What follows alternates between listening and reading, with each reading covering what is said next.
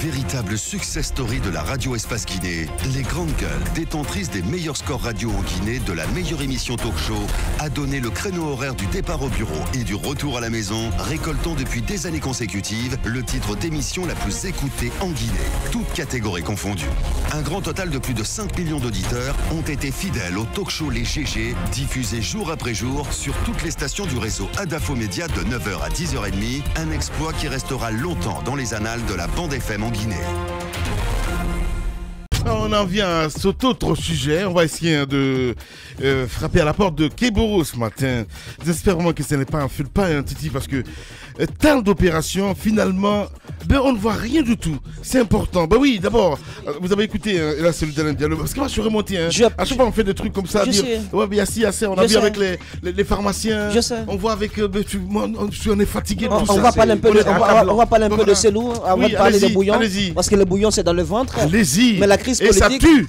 Ça tue. Mais je vais en parler. Voilà. Mais la crise politique, La crise politique aussi tue. la oui. crise politique, ça vous, ça vous arrache la vie. Ça c'est de façon plus, plus brutale. Plus brusque. Mais ce que je veux dire, il faut que dans notre pays qu'on ait un peu honte. Moi j'ai vraiment honte. On prend des milliards du contribuable guinéen.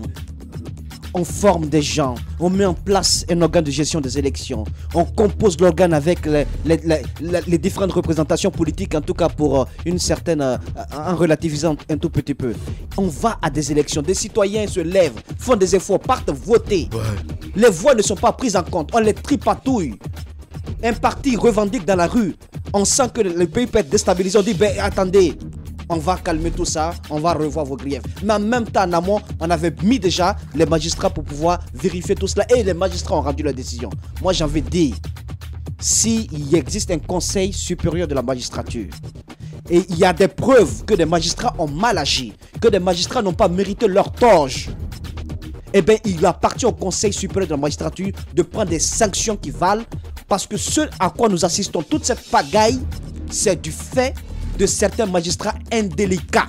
Ça, il faut qu'on se dise la vérité. S'ils avaient été, si, si, dans, dans la majorité des cas, mais il y a, y y une façon de voler aussi qui est, qui est, qui est trop, qui est trop flagrante et trop, et, et trop blessante. Moi, j'estime que si ça avait été fait au début, au préalable, on aurait évité toute cette revendication et toutes ces manifestations. Mais sincèrement, au niveau des CACV, il y a eu des problèmes. Et si ce que le couloir qui est ouvert à l'opposition, en tout cas l'UFDG, pour la rencontre avec les CENI, si cela permet de revenir sur les résultats qui ont été prononcés par la CENI, c'est un désaveu de la justice guinéenne. Ça veut dire que dans notre pays, il n'y a plus de justice. Allez-y, Tamba. Au- Au-delà des questions de désaveu, au-delà des questions de la justice, au-delà des questions de l'indépendance de la CENI qui est remise en L'ego Parce qu'on a quand même écouté Célou Dalen Diallo qui a dit que l'ordre venait de Touréa. Alpha Condé qui appellerait M. Kébé pour lui dire bah, va écouter euh, Célou Dalen Diallo. C'est tout ce qu'on a ouvert, ce couloir dont parle Moussa Moïse. On sait bien comment ça va se faire. On va essayer de contenter l'UFDG parce que c'est le parti qui dérange. On va, on va prendre, on va piocher des voix à l'UFR et puis on va les donner à l'UFDG et puis ben voilà, c'est calmé.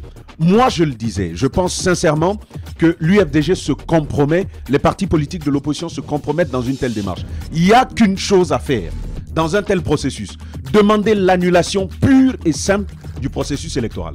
À mon avis, c'est ce qu'il faut faire. Il ne faut pas aller du dos de la cuillère par quatre chemins. La vérité, si on est d'accord qu'il y a eu des vols à très grande échelle, tous d'ailleurs nous sommes d'accord là-dessus, il faut éviter de se compromettre comme ça, mettre la loi de côté, le code électoral de côté, la justice qui a pris de l'argent. D'ailleurs, eux, il faut qu'ils nous rendent l'argent qui- qu'ils ont pris pour ne pas faire le travail.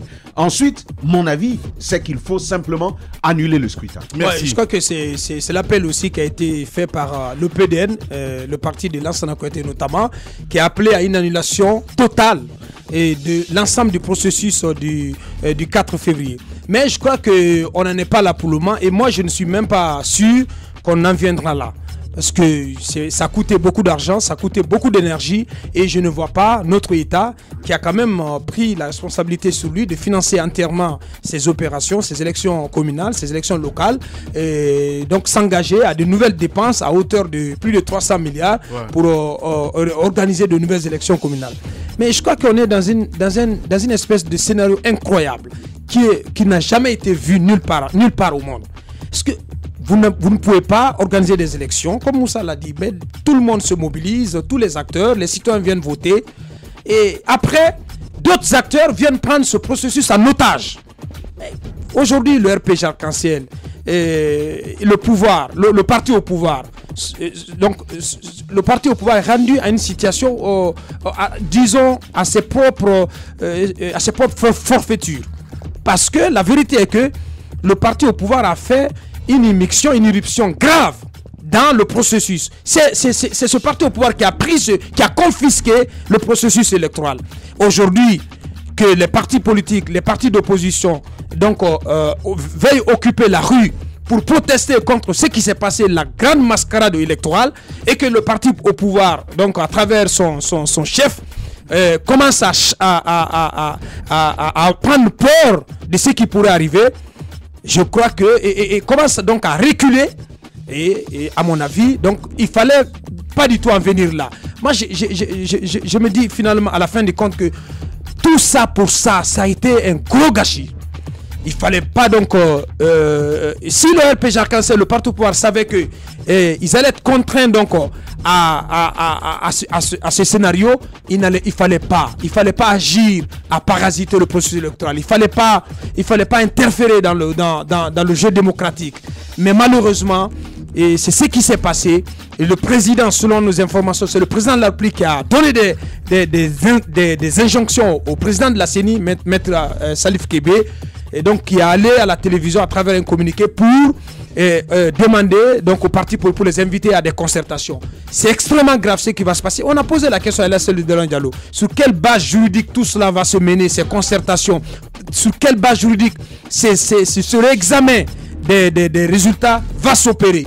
Il dit ne, ne- ne me posez pas la question. Ce n'est pas ça sa préoccupation. Ce qui le préoccupe, on sait bien qu'il y a eu des cas de vol, des cas de fraude. Mais c'est important qu'il faut se poser des questions sur, sur quel socle juridique ce travail va se mener. Mais aujourd'hui, on, se- on se rend compte que ce n'est pas la préoccupation de la série Diallo et des partis de, de l'opposition, ce qui les intéresse. De l'autre côté, Lamine, je le dis pour, pour, pour terminer, il y a un mécontentement diffus, mais un mécontentement sérieux au sein du RPG Arc-en-Ciel qui se voit contraint donc euh, à, ce, à ce scénario et qui va devoir certainement euh, perdre dans, euh, un certain nombre de sièges à, l'issue de, ce réexamen qui va se passer. On fait tout pour contenter l'opposition, pour, pour, pour, pour- faire en sorte que l'opposition ne mette pas la paix en péril. Or, c'est le RPG Arc-en-Ciel, le parti au pouvoir, l'ensemble de- de- des acteurs étatiques qui ont contribué à ces scénarios-là. Donc, je crois que ils ont cherché, et donc ils ont trouvé, il va falloir assumer le vin est tiré, il faut le boire. Eh ben oui. Moi, j'ai envie de dire à, à Boubacar que le RPG ne va rien perdre. Le RPG va rendre ce qu'il a pris et qui ne lui appartient pas. Si on, si, C'est trop facile. non, mais si c'est établi, c'est ça. Voilà. Il faut éviter Bien, de dire bien, qu'ils vont, qu'ils vont faire- Non, ils vont. Si c'est établi. Ben, écoutez, il y a des éléments quand même qui sont très très sérieux. Par exemple, sur le cas de Kindia, j'ai pu avoir ces éléments sous la main avec euh, euh, euh, Monsieur Ba que, que nous avons que nous avons reçu ici. Ouais. Ça, c'est un fait. Bien. Et de l'autre côté, Lamine, il faut quand même s'énerver. Si l'opposition ne s'énerve pas, il faut que le peuple. tombe ne- à- Non, non, non. Non. d'incitation, Non, je ne fais pas d'incitation. Il faut que ça puisse blesser. et On a le droit de s'indigner par rapport à ça. Justement. Comment le président de la République peut s'adresser au président de l'institution euh, euh, électorale qui est indépendante et lui dire reviens en oubliant, en ignorant, mais, mais je vous dis gravement tous les textes qui régissent le fonctionnement des élections en Guinée. Bien. Pas de code électoral, pas de justice associée. On dit la CENI vient réexaminer. Bien. Moi, à la place de Monsieur Selou Dalen Diallo, ce que j'aurais demandé, ceci ne va pas plaire, mais ce que j'aurais demandé, ce serait l'annulation et la reprise de ce processus-là. Parce qu'il n'est pas sûr, il n'est pas sûr que les voix qui lui avaient été données par le peuple puissent lui être retournées dans cette démarche-là. C'est juste une petite entente, on va lui couper une partie du gâteau, il va se calmer bah, les autres partis d'opposition, puisque eux, ils dérangent personne, et le chemin va se poursuivre. Bien. Lorsque vous vous engagez dans le processus électoral en Guinée, ne vous basez pas sur les textes de loi, sinon vous allez perdre. C'est la leçon que j'en tire. Et, et aussi, parce que ce à quoi nous allons assister, ça va être l'élection. Après l'élection, on assiste maintenant aux négociations. C'est-à-dire, on fait une sorte de repartition des voix et des sièges. Le citoyen, l'électeur, le citoyen électeur qui est allé voter n'est pas allé voter pour son parti politique. Il allait. On a compris. Il, il a, il- il mis son bulletin dans l'urne Bien. pour que le pouvoir décide Bien. de la destination à donner Bien. à son bulletin. Bien. Moi, j'estime. Et le dernier message, Lamine. Oui. Le dernier message. Il y a ce qu'on appelle le marchandage des élus Ouais.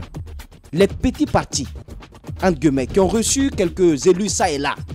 Mais il y a une sorte de marchandage. Vous savez, quand on dit euh, on, va coopter tel parti, tel, mais ça se fait, on les vend, on vend ces élus. Mais c'est quoi la démocratie? Bien. S'il faut avoir des élus et aller dire, moi j'ai deux élus, euh, un coûte 100 millions, l'autre coûte 100 millions, ça fait 200 millions. Mais vous pensez à celui qui a voté pour eux? Arrêtez ça, ne vendez pas vos élus. Voilà, malheureusement, c'est la triste réalité, évidemment, dans notre pays. Les GG continuent. Véritable success story de la radio Espace Guinée, les grandes gueules, détentrices des meilleurs scores radio en Guinée de la meilleure émission talk show, a donné le créneau horaire du départ au bureau et du retour à la maison, récoltant depuis des années consécutives le titre d'émission la plus écoutée en Guinée, toutes catégories confondues. Un grand total de plus de 5 millions d'auditeurs ont été fidèles au talk show Les GG, diffusé jour après jour sur toutes les stations du réseau Adafo Média de 9h à 10h30, un exploit qui restera longtemps dans les annales de la bande FM Guinée. On en vient évidemment à cet autre sujet. hein. On essaie de joindre Teboro ce matin. Malheureusement, qui ne décroche pas. Aboubacar, vous faites bien de souligner ce sujet parce que c'est un sujet très grave. Ben, je ne peux pas comprendre que ben, on fait le constat qu'à se dire qu'il y a plus de 90 marques de bouillon au marché, euh, l'heure est grave, Abakar. Oui, quand même, l'heure est grave. Moi, j'ai vu les photos de, de ces marques. C'est de la folie. c'est- c'est- nos, marchés sont inondés et les populations sont sans protection. Mais ça veut dire tous les Comme vous l'avez jours, rappelé. on nous empoisonne. Oui, mais ab- absolument. Euh, Aujourd'hui, la, la- la véritable question, c'est de savoir quelles sont les conditions euh, dans lesquelles ces, Mm. ces- ces marques de bouillon se- ont été fabriquées et dans quelles conditions euh, et, et- et ces marques se retrouvent sur le marché. Il y a Mm. le, ce communiqué qui a été pris par le secrétaire général à- la présidence chargé des services spéciaux de la lutte contre le- la drogue et le crime organisé. Donc, qui a fait ce constat, le constat de la prolifération des marques. Eh ben, ils, ils ont dit euh, des cubes magie, mais euh, euh, nous avons euh, été euh, rappelés à l'ordre, disons comme ça, par nos amis de Nestlé qui ont, Oh. euh, qui, qui ont dit que la marque euh, Cube Magie, c'est une marque qui leur appartient. Donc, euh, il Même s'agit ça, il faut plutôt- faire attention. il s'agit plutôt- les cubes magiques, il faut faire il attention. s'agit plutôt de bouillon. Voilà. Il s'agit plutôt de bouillon. Alors, ce qui va se ça. passer, l'opération qu'engage, l'opération qu'engage euh, de, euh, Monsieur Les Kegoro, grandes gueules. le colonel Kegoro, et en concertation, bien entendu, avec euh, le, le ministère du Commerce, c'est c'est donc. euh, de- oui, allez Voilà. Non, c'est est- plutôt Monsieur Sedouba. hein, qui- ouais, ouais. Bien. Donc l'opération, l'opération qui est engagée, c'est que euh, les services spéciaux, donc en collaboration avec le ministère du Commerce, euh, et, à travers ce communiqué, invitent Ouais. tous les importateurs et fabricants locaux euh, de ces différentes marques de bouillon à se présenter à la direction de l'office euh, de lutte contre le crime organisé au secrétariat général donc du département près du gouvernement de la ville de Conakry entre le 25 février donc entre le dimanche dernier Ouais. et le 5 mars. Ouais. Donc il y a un délai de, de, de 10 jours ou de, de 10 jours qui est accordé à ces importateurs, mais aussi à des fabricants locaux de ces marques, pour se présenter euh, dans les locaux du, du secrétariat général des services spéciaux pour euh, présenter des- les documents ci-après. Il s'agit du RCCM, donc le registre du commerce et du crédit immobilier, mais aussi la DDI, la demande descriptive d'importation, Ouais. et le certificat d'analyse de mise en consommation. Ouais. Ce sont ces trois documents qui doivent être présentés. Le certificat de mise en, euh, de mise en, mise en consommation, Hmm. c'est extrêmement important. Si euh, un fabricant ou un, un importateur n'a pas ce certificat de mise en, mise en consommation, ça veut dire que euh, c'est- c'est pas vérifié, ce n'est pas certifié à l'avance.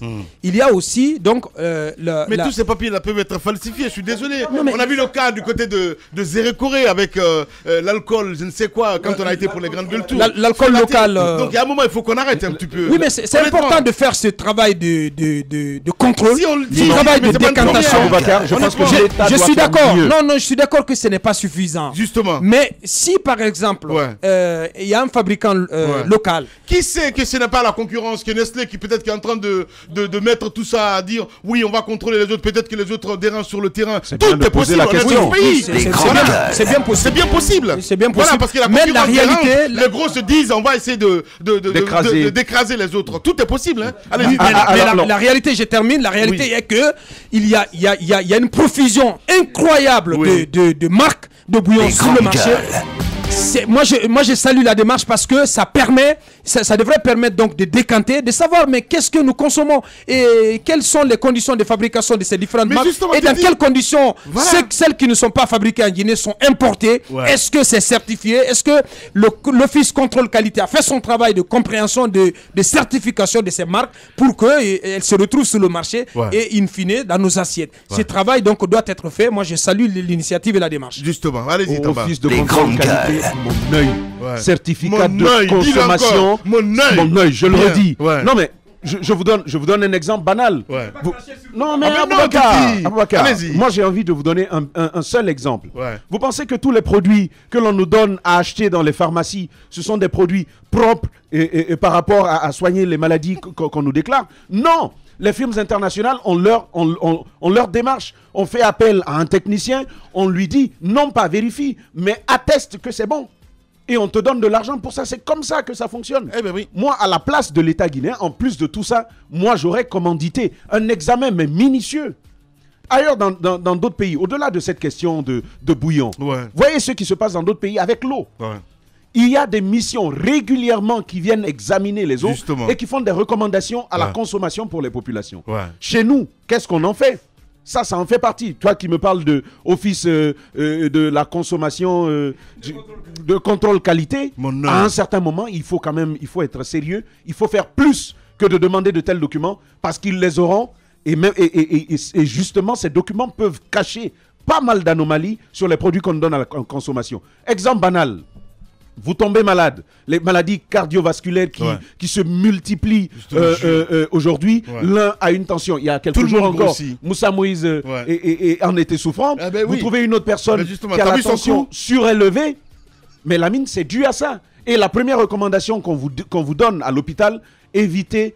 ben, Là-bas, on l'appelle mag- Maggi, Ouais. éviter cube magie. Ouais, Mais en éviter fait, cube il s'agit magie. d'éviter. Ouais. Bouillant. Et justement. C'est- de cela qu'il s'agit. Mm. Et moi, j'ai envie simplement de dire aux populations, Mm. prenez-vous en charge vous-même au plan de l'alimentation. Voilà. Et éviter les cubes il y a des alter... Non, non, Lamine, pas ça. Allez Il y a le snobisme des fines gueules et la rudesse des gueules de bois. L'infortune des gueules moins propres à la douleur des gueules cassées. Il y a les jeux d'esprit des drôles de gueules. Le piquant des amuse-gueules. Mais par-dessus tout, il y a l'audace et la pugnacité des grandes gueules de Radio Espace. Exubérantes et effrénées, rarement politiquement correctes et toujours excessives, les grandes gueules plus que jamais déterminées. Grandes gueules à vie. Seul le Tout-Puissant pourra nous faire taire. Bienvenue chez les GG de Radio Espace Guinée. On en vient à ce fait d'une extrême gravité. Mesdames et messieurs, une femme est morte donc en fin de semaine dernière hein, au quartier Afia, dans la commune de Dixine, après un accouchement en stupeur. Cependant, plusieurs euh, témoignages. Donc, la défunte aurait succombé à une violente bastonnade infligée à elle par son époux. On essaye de comprendre ce matin avec euh, cette question. Que sait-on donc euh, des circonstances de ce décès? Le père euh, de la défunte, vous allez l'écouter dans un instant, il est fonctionnaire au ministère de la Jeunesse, qui nous a appelé Abakar. Vous l'avez eu ce matin au Oui, en hein? préparant cette émission, M. Sedouba, donc euh, la gorge entièrement nouée, qui, qui nous a contacté et qui nous a fait part de, de ce triste cas de décès de sa propre fille, qui était mariée donc euh, à, un jeune euh, de la place, donc qui, vit à Conakry, qui donc euh, euh, battu sa, sa, sa femme, euh, qui était donc en grossesse pratiquement à terme, Ouais. et, et- et à, à l'occasion de l'accouchement, donc cette dame aurait eu donc euh, une hémorragie interne qu'on a- qu'on a- qu'on- qu'on a- qu'on- qui n'a pas pu être maîtrisée et finalement mort, mort s'en est suivi. Ouais. C'est Monsieur. Sedouba Touré, en direct ce matin chez les GG. Bonjour, monsieur Touré. Bonjour. Bienvenue sur Espace et chez les GG. Pour, pour commencer, euh, on aimerait vous dire euh, toutes nos condoléances. On compatit bien à la situation que vous traversez. Et, donc, euh, racontez-nous, vous avez perdu votre, votre fille alors qu'elle donnait euh, la vie, mais c'est arrivé dans des conditions totalement euh, inacceptables. Parlez-nous-en. Merci beaucoup. Et je voulais rectifier un peu, ce n'est pas suite à une hémorragie, c'est suite à une variation de tension qui est survenue après l'accouchement. ma fille était mariée légitimement à un monsieur du nom de Mohamed Kamara qui travaille au Trésor.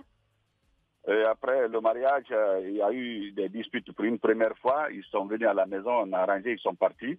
Et ce jour-là, j'ai dit au monsieur de ne pas la battre parce que, de ne plus jamais la frapper parce qu'elle est en état de famille. Et c'est son enfant que ma, fille porte. Et même si ce n'était pas son enfant, une femme en grossesse mérite le maximum de soins de la part de tout un chacun. Tu l'as frappé pour une première fois, il ne faut plus jamais le faire. Ils sont repartis, c'est à mon fort étonnement quand euh, euh, euh, j'ai été informé le jeudi qu'elle a accouché à midi, personne ne m'a appelé. C'est la nuit que sa mari m'a appelé pour me dire qu'elle a accouché, mais que sa tension variait. Tantôt c'est élevé, tantôt c'est maîtrisé. Le lendemain matin, je suis venu la prendre pour qu'on l'envoie à Ignace Din. Et c'est là-bas, malheureusement, à travers ma nièce qui est sage-femme de, profession, qu'elle a rendu l'âme à, à, Ignace Din. Mais très malheureusement, dans des conditions que j'ai compris après les dessous. Ma fille n'a jamais accepté de me dire, que le monsieur continue à la battre. À deux semaines, à deux semaines de, de, l'accouchement, le monsieur l'a battue. Elle a eu pris soin de prendre, de faire toutes les photos des sévices corporels qu'il y a sur son, corps. Mais malheureusement, ce n'est pas à moi, elle a envoyé, c'est à son cousin, Ibrahim Mansare, qui travaille même à l'espace euh, chez vous là-bas c'est à celui-là qu'elle a, envoyé le truc. Et en disant de ne pas m'informer parce qu'elle connaît sait ce que, comment je vais réagir. Donc c'est après que Mansaré m'a balancé ça hier. C'est hier Mansaré m'a balancé ses photos. Mais quand vous les voyez, c'est horrible. À deux semaines de son accouchement, le monsieur l'a battu encore. Donc dès qu'elle a accouché, la, la tension l'a emporté. Vous, verrez des photos. Je veux que vous envoyez une équipe de reportage, la télé, la radio, pour que les témoignages accablants, euh, soient là, pour que vraiment vous, soyez, vous puissiez informer le peuple de Guinée. Parce que c'est une fille sur, lequel, euh, sur laquelle euh, l'État guinéen s'est investi, l'ambassade de France s'est investi, le, service civique de l'ambassade de France vient de l'envoyer pour sept mois de formation. Elle est venue pour, pour, continuer la suite de ses, de, de, de, ses travaux pour que vraiment elle puisse être dans le dispositif.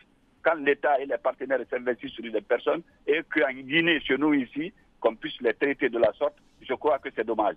Mais le monsieur, c'est pas à ma fille il a fait la chose, c'est à la famille c'est à nous, il n'a rien vu. C'est à la famille, c'est pas la fille, elle est partie.